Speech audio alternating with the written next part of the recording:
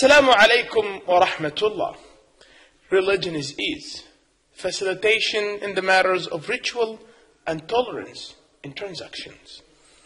All praise is due to Allah, the Lord of all worlds, who says in His ever glorious book, Allah wants ease for you, not hardship.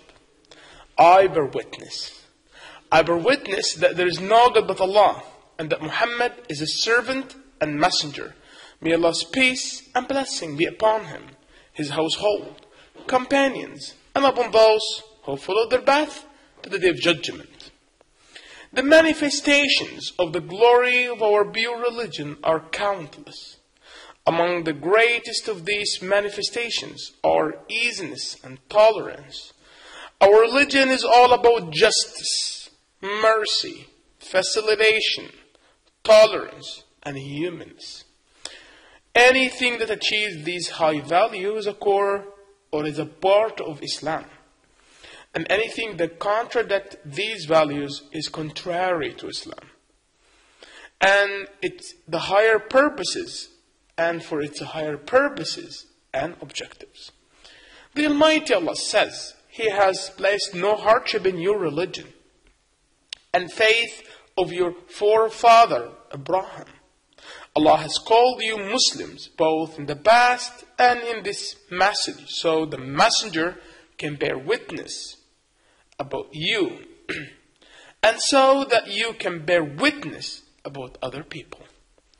Allah also said, Allah does not burden any soul with more than it can bear. The Prophet ﷺ said, This religion of Islam is very easy. This, this religion of Islam is very easy.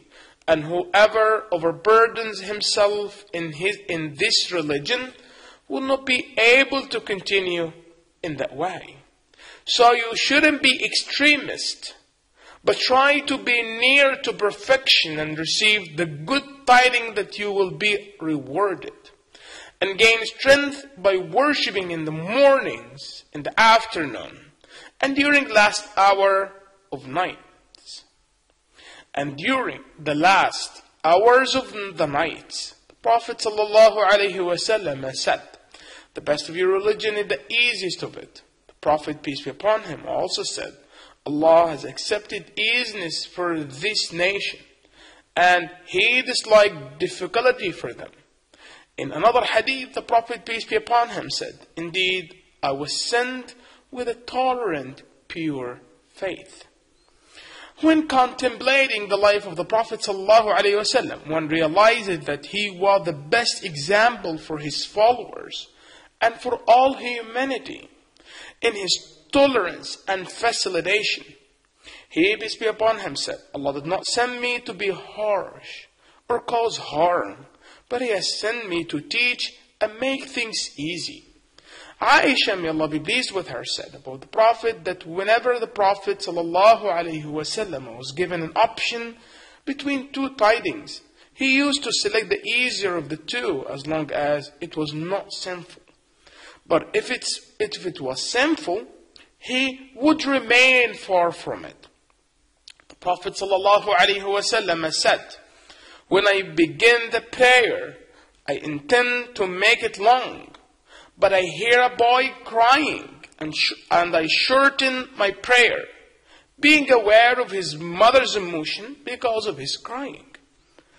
Tolerance and facilitation in our religion are a comprehensive and relevant feature. Regarding the, the prayer, the Prophet ﷺ has said, Some of you make people dislike good deeds some of you make people dislike good deeds, I mean the prayer. So whoever among you leads a prayer should shorten it because among them are the weak, the old, and the people of needs. That's very important hadith, so I will say one more time. The Prophet ﷺ said, Some of you make people dislike good deeds. So whoever among you lead people in prayer should shorten it because among them are the weak, the old, and people of needs. The Prophet ﷺ instructed Umran ibn Husayn how to pray when he was ill, saying, Pray while standing. If you cannot, pray, pray while sitting. And if you cannot do even that, then pray lying, lying on your side. One of the examples of facilitation in performing acts of worship is the permissibility to not fast during the month of Ramadan in a case of traveling. One of the features of tolerance in the pilgrimage is the instruction to help weak people in performing rami, stoning the devil, and the permissibility of throwing in behalf of those who are a, unable to do it. Perhaps pilgrimage is the most act of worship that includes manifestations of facilitation as the Prophet ﷺ used to tell people whenever they did something in pilgrimage, do it, for no harm is done. All praise is due to Allah, the Lord of all worlds. May Allah's peace and blessing be upon Prophet Muhammad sallallahu his companions and followers. The Islamic Sharia marked with a facilitation and tolerance in its ruling on transaction. It has removed hardship in buying, selling, and demanding rights.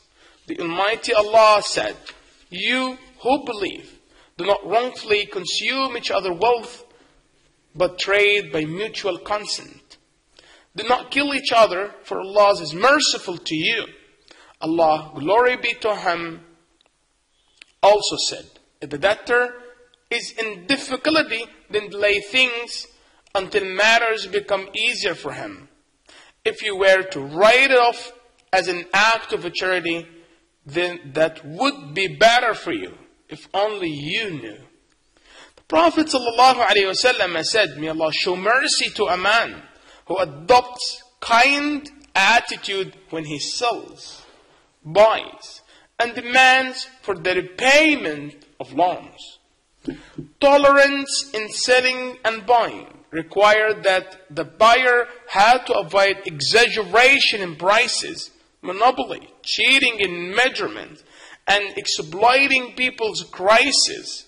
It also requires that the buyer has to be kind with the seller and do not underrate the community. Tolerance is asking for payment of a debt require that the person has to be kind in his demand and show leniency. Our Prophet ﷺ told us that easiness and tolerance in transaction are cause of salvation on the day of judgment. He, peace be upon him, said, The person from among the people who lived before you was called to account by Allah on the day of resurrection. No good deeds were found in his credit except his being a rich man had a financial dealings with people and had commanded his servant to show mercy to those who were in stated circumstances.